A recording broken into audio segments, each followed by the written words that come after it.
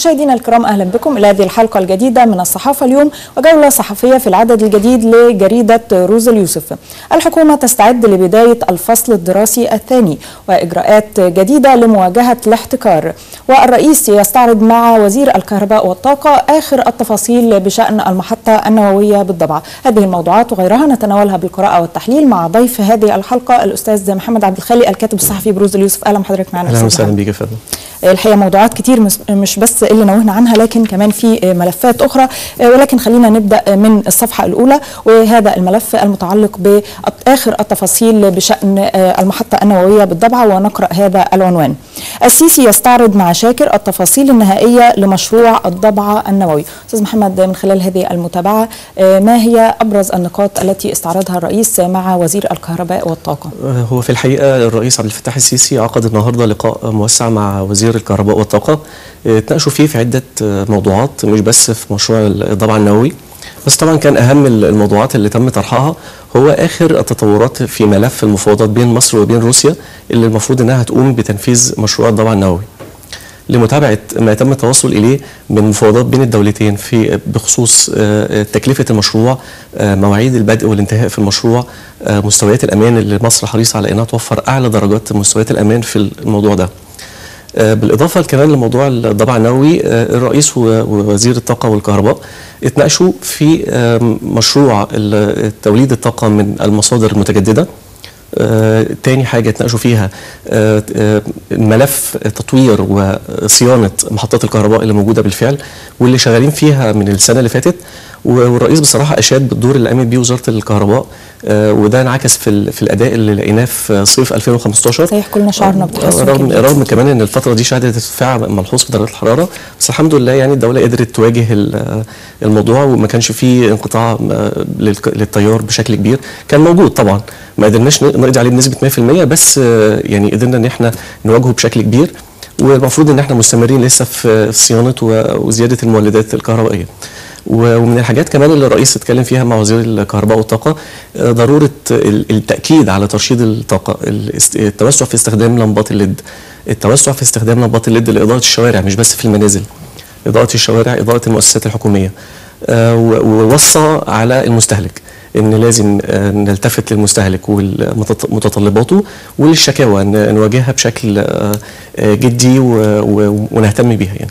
تمام طيب بالنسبة لمشروع الضبعة النووي يعني هل تم تحديد مراحل بدء فعلي لتنفيذ المشروع؟ هو يعني إحنا لغاية دلوقتي لسه في مرحلة المفاوضات في كذا شركة من كذا دولة قدموا عروض كان منها مثلا أسبانيا والصين وروسيا بس كان من أفضل الملفات اللي اتقدمت لنا هو الملف الروسي بخصوص المدة اللي مصر هتدفع فيها لتكلفة المشروع. هم مدين لنا مدين لنا مرحلة أوسع شوية. لكن التحديد بالظبط إمتى هيتم البدء أو الانتهاء منه أعتقد لسه يعني التواريخ المحددة دي لم يتم الانتهاء إليها. تمام. إلى الصفحة الثالثة وهذا العنوان. رئيس الوزراء يلتقي ولي عهد أبو ظبي لبحث التعاون بين البلدين. بن زايد يؤكد عمق العلاقات التاريخية والأخوية بين مصر والإمارات. أستاذ محمد يعني في البداية هذه الزيارة تأتي في أي سياق؟ وأيضا نتحدث هنا عن خصوصية العلاقة بين مصر والإمارات تحديدا. تمام. هو رئيس الوزراء ومعاه عدة وزراء مصريين من وزير الاستثمار ووزيرة التعاون الدولي ووزير التعليم العالي. في زيارة لدولة الإمارات لمدة أربعة أيام لحضور القمة العالمية للحكومات اللي بتعقد في دبي. تمام. هي بصراحة يعني نشاط متميز جدا لدبي يعني لازم لازم كلنا نحييها عليه ويا ريت تبقى إحنا عندنا يعني نعمل نعمل مؤتمرات ونعمل لقاءات وننفتح على العالم بشكل كده زي النموذج المشرف اللي إحنا شايفينه في الإمارات ده. إحنا كان عندنا العام الماضي المؤتمر الاقتصادي في شرم الشيخ. جميل. إحنا عايزين يبقى عندنا حاجات أكتر وما تبقاش يعني شغل تقليدي. يعني مؤتمر اقتصادي مرة كل سنة يعني قمة للحكومات. جديد ومش موجود. يعني المؤتمر الاقتصادي بيتعمل في كل دول العالم. هل هذه أول مرة تعقد هذه القمة؟ لا دي الدورة الرابعة ليها. بس أنا بقول إنها فكرة جديدة. يعني في أفكار. جديدة بتتعمل في دبي خارج الصندوق. أتمنى إن إحنا نحذو حذوها يعني. فالقمة دي شارك فيها يعني أكتر من 3000 فرد من 125 دولة. الرئيس الأمريكي باراك أوباما يعني قدم كلمة بالفيديو كونفرنس الشيخ الشيخ زايد نفسه يعني عمل لقاء مفتوح من خلال آه، صفحاته على مواقع التواصل الاجتماعي اللي فيها حوالي 10 مليون فولور بيتابعوه فيها. آه، استخدام كويس للتكنولوجيا انفتاح على العالم تقديم منطقة الشرق الأوسط ودبي تحديدا بشكل ال- المستقبل الواعي للاستثمار. آه، رئيس الوزراء التقى بولي العهد ونائب آه، رئيس القوات المسلحة في دبي اللي هو الشيخ محمد بن زايد ال نهيان آه، ناقشوا ال- ال- الأمور في مصر اقتصاديا وسياسيا ماشية إزاي. ناقشوا عدة قضايا إقليمية خاصة بال- باليمن يعني اتكلموا في استثمارات اتكلموا في إصلاحات اقتصادية اتكلموا في إزاي ممكن يبقى في مساهمات ودور أكتر للاستثمار الإماراتي في مصر. آه، اتكلموا وأكدوا على آه، عمق العلاقات زي ما حضرتك ما قلتي بين الدولتين بين الإمارات وبين مصر. إحنا عارفين كلنا إن الإمارات من أكبر الدول الداعمة لمصر يعني خاصة بعد فترة 30 يوليو. صحيح. وحملوا سلام للرئيس السيسي شخصي يعني. تمام. طب من خلال هذه القمة يعني هل متوقع عقد لقاءات أخرى بين رئيس الوزراء آه، شريف إسماعيل وبعض القيادات الأخرى أيضا آه، من دول أخرى؟ آه، هو بالفعل حصل يعني بس مش من قيادات من دول. هو التقى برئيس ال- البنك الدولي وكان لأن كمان من من ضمن الفريق اللي رايح مع رئيس الوزراء محافظ البنك المركزي. الموضوع برضو اقتصادي أكتر منه يعني. اتكلموا برضو عن الاصلاحات الاقتصادية وعن اسعار الدولار وإزاي نقدر نتكلم عن ال- الاستثمارات والاستيراد والقوانين الجديدة ورفع أسعار الجمارك لبعض المنتجات يعني كان في نقاشات على مستوى اقتصادي آه، كويس يعني. نتمنى إنها تؤتي ثمارها قريب. يا رب إن شاء الله. إلى الصفحة السابعة وهذا الخبر الاقتصادي أيضا ونقرأ. بعد ثلاثة عقود من توحش الرأسمالية. الدولة تعود بقوة إلى السوق وتستخدم شركاتها القابضة في مواجهة الاحتكار. تغليظ عقوبة المحتكرين إلى 500 مليون جنيه لحماية المستهلكين من النصب. أستاذ محمد من خلال هذه المتابعة أيضا يعني ما هو المردود الاقتصادي لتغليظ العقوبة على المحتكرين؟ يعني بصي قبل ما نتكلم عن النقطة دي تحديدا في القانون يعني هو هو على فكرة هي كانت العقوبة كانت 100 مليون بس. تمام. بقت 500 مليون علشان منع الاحتكار. وتم كمان تعديل مادة كده في القانون آه، كانت بتسمح للي بيبلغ عن قضية احتكار إنه ياخد نصف العقوبة بس لو هو متورط فيها يعني والمادة دي كانت متفصلة يعني تحديدا ل- لأحمد عز اللي كان محتكر الحديد في فترة مبارك يعني. بس الأهم من كده إحنا بنتكلم في موضوع مهم قوي في مصر عندنا. إحنا عندنا في, في الستينات في فترة رئيس عبد الناصر كان عندنا حضور كامل للدولة بنسبة 100% كل المصانع تبع الحكومة كل الشركات كل الصناعات التقيلة والصناعات الخفيفة وكله. جه الرئيس السادات راح عامل سياسة الانفتاح وبدل ما نعمل بناء كده خطوة فوق خطوة ونستغل اللي فات ونستفيد منه ونبني فوقه لا للأسف دايما بنحط نقطة ونبتدي من أول السطر. وراح فتح ال- ال- البلد وعمل سياسة الانفتاح والقطاع الخاص آه، هو دخل وتغول وانتشر وابتدت الدولة تنسحب تدريجيا من السوق جه الرئيس مبارك الرئيس المخلوع مبارك يعني آه، على اللي كان متبقي من آه، المصانع الحكومية وخصخص وباع والشركات خسرت وبقت تتباع برخص التراب والدولة ابتدى يبقى ليها غياب تام من الصناعات الثقيلة أو الصناعات المهمة اللي المفروض تكون لها ايد فيها. اللي اللي بيحاول دلوقتي الحكومة إنها تعمله إن تعمل التوازن اللي موجود في كل دول العالم واللي المفروض يكون موجود في أي دولة. علشان ما تسمحش لحد إن هو يحتكرها إن ما تسمحش لحد إنه يتحكم في في في مستقبل شعبها أو في وقود شعبها. إيه هو بقى اللي المفروض يتعمل؟ نحافظ على وجود ال- ال- الراس المال الخاص على الراسماليه الخاصه ما حدش قال نأمم الدنيا. بس على الأقل يكون في 70% استثمارات خاصة ويكون في 30% في إيد الدولة. تقدر من خلالها تظبط السوق تقدر من خلالها إنها تقول لأ لما الأمور تخرج عن السيطرة. وهو ده اللي الدولة بتحاول تعمله دلوقتي. آه، خاصة في صناعات مهمة وتقيلة زي صناعة الأسمنت وصناعة الحديد والصلب حضرتك عارفة طبعا إن 60% من إنتاج الحديد والصلب في مصر دلوقتي في مصانع حديد عز تمام. آه، الدولة بتحاول تعمل إيه علشان آه، توفر اولا كميات من الحديد آه، آه، الطلب عليها بيزيد يوم عن التاني وفي نفس الوقت ما تسمحش لحد إن هو يتحكم في الأسعار وفي السوق. بتحاول إنها آه، تشغل أفران جديدة في المصانع اللي لسه موجودة عند الدولة. تحاول إنها تطور ال- ال- الأفران اللي موجودة اوريدي يعني عندي فرن شغال بطوره علشان أرفع من قدرته الإنتاجية. وبضيف أفران جديدة ما كانتش موجودة. فبخلي ال- المصنع بدل مثلا ما هو بيطلع لي آه، 15 مليون طن أو 30 مليون طن لا هزوده بنسبة 50 75% من الإنتاج.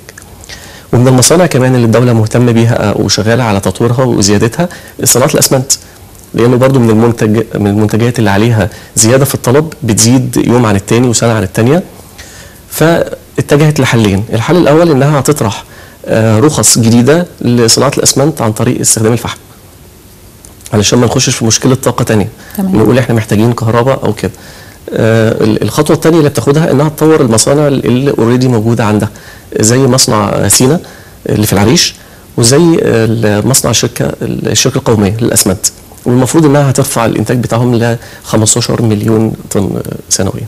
تمام وهكذا تستخدم الدولة شركتها القابضة في المفروض لأن دي. يقال يعني شركات القبضه بيقال عليها الزراعة الاقتصادية للدولة اللي بتقدر آه، تتحكم فيها في السوق في وقت اللزوم ومش بس في الصناعات الثقيله لا ده في إحنا عندنا شركات آه، قبضه كمان في الصناعات آه، في الصناعات الغذائية ودي مهمة جدا ولعبت الفترة الماضية دور كويس جدا قدر يحمي السوق صحيح. من انفلات كان يعني لا قدر الله كان ممكن يعمل وتواجه مشكلة أكيد يعني. غلاء الأسعار أكيد. الحمد لله عودة مرة أخرى إلى الصفحة الأولى و الملفات التي سيتحدث عنها الرئيس أمام النواب. تشكيل اللجان يؤجل تحديد موعد نهائي والتقاليد الكلمة في القاعة الرئيسية. أستاذ محمد يعني كلنا عارفين إنه الرئيس بصدد إلقاء كلمة في البرلمان ولكن يبدو أن هناك مشكلة مشاكل أو إشكاليات فنية في يعني اختيار القاعة أو القاعة التي تصلح لإلقاء الكلمة. فنتحدث عن هذا الأمر.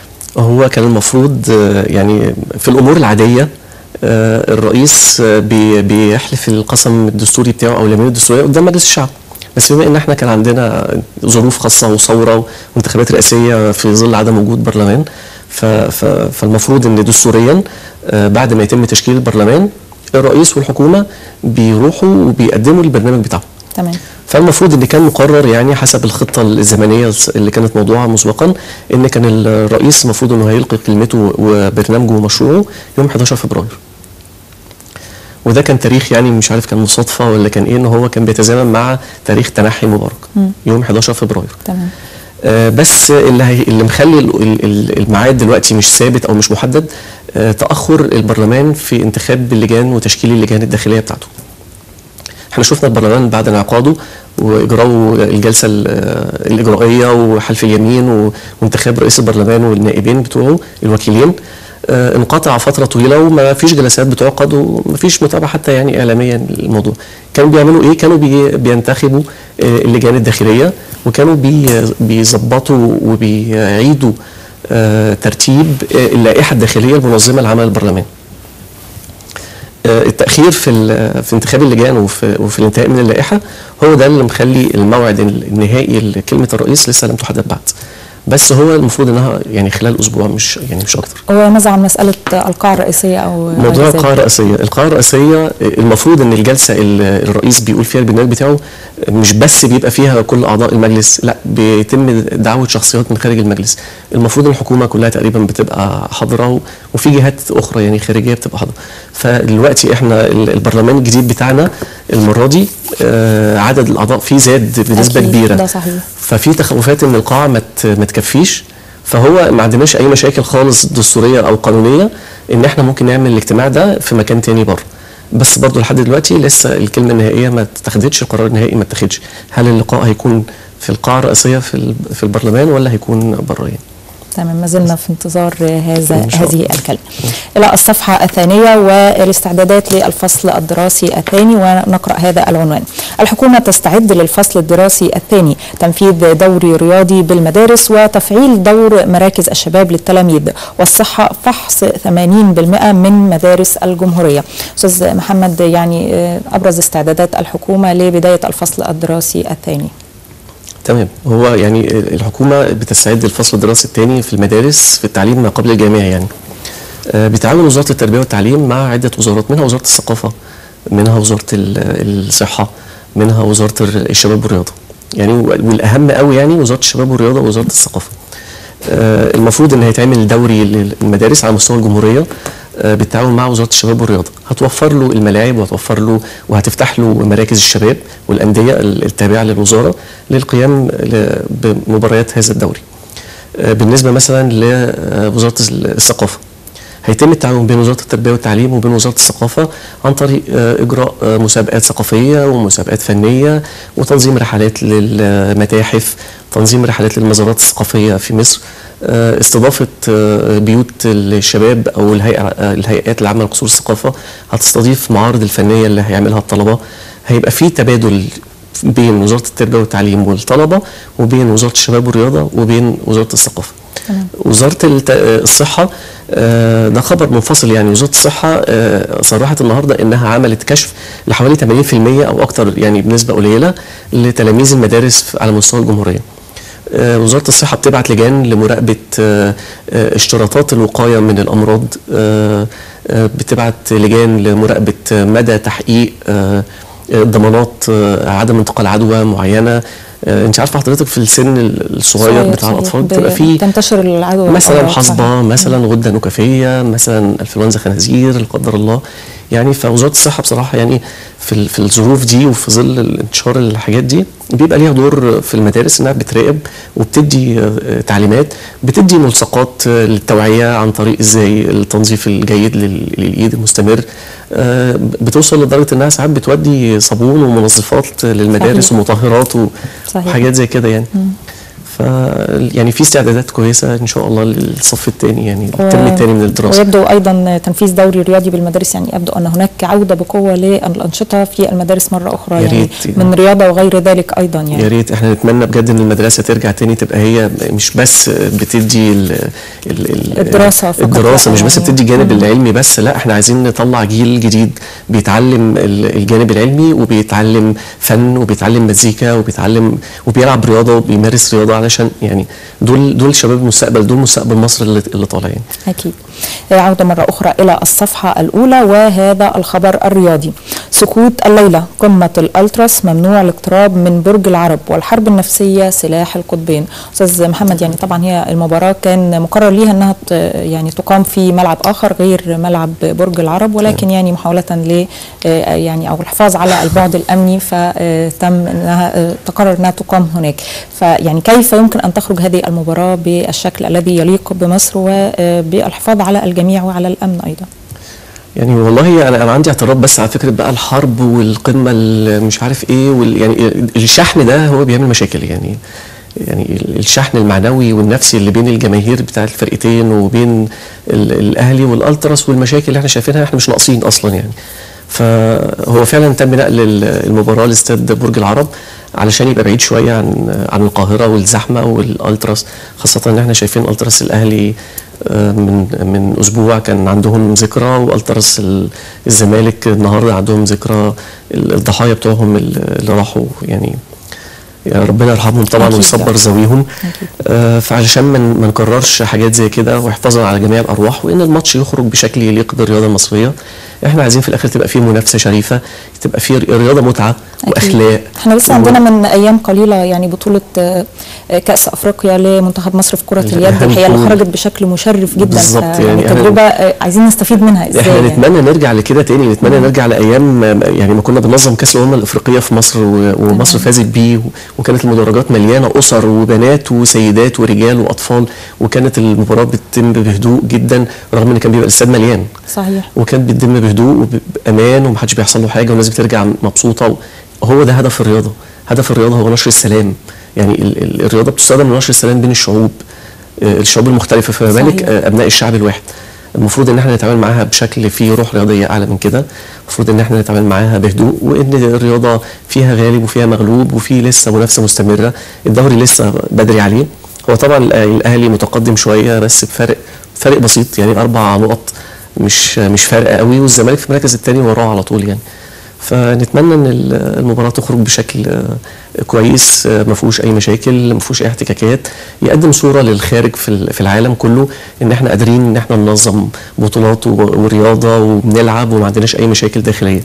علشان تبقى على الأقل رد لبعض الصور السلبية اللي في بعض الأطراف بتحاول تروجها عن مصر مؤخرا يعني. أكيد نتمنى عودة الهدوء والاستمتاع إلى جمهور كرة القدم والرياضة بشكل عام. إن شاء الله. بهذا الملف نصل إلى ختام جولتنا اليوم. في العدد الجديد لجريدة روزا اليوسف شكرا لضيف هذه الحلقة أستاذ محمد عبد الخالق الكاتب الصحفي بالجريدة. شكرا أستاذ محمد. شكرا ليك فندم. شكرا. شكرا لكم مشاهدينا على حسن المتابعة وغدا أخبار جديدة ولقاء يتجدد.